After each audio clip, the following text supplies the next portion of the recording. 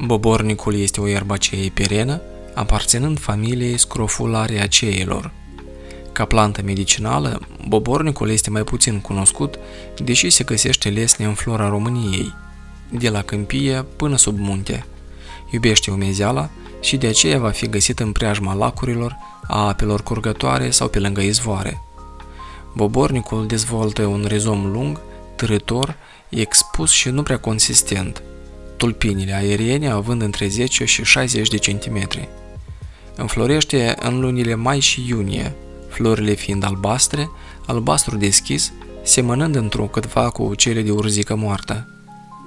Fructul de bobornic este o capsulă. Pentru aplicații medicinale se culeg florile, fructele, dar și tulpinile. Substanțele active importante ale bobornicului sunt uleiul volatil și glucozidile. Uleiul volatil de bobornic are efecte calmante și expectorante. Se spune că extractul de frunze proaspete este un vechi remediu pentru curățirea sângelui, dar și pentru purificarea sanguină în general. Potrivit medicinii populare, bobornicul e folosit în bolile de ast, tuberculoză și boli ale ficatului.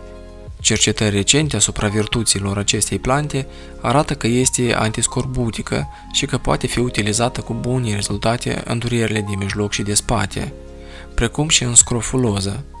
Sunt cunoscute și efectele diuretice ale acestei plante, sucul de bobornic având de altfel însemnate proprietăți depurative.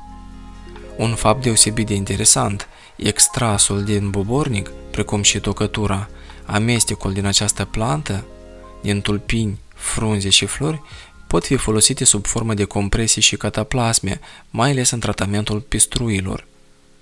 Tot compresiile și cataplasmele cu bobornic se utilizează și împotriva hemoroizilor și a ulcerațiilor scorbutice. Bobornicul este considerat încă din vechime drept leacul natural de purificare a sângelui și chiar a ficatului.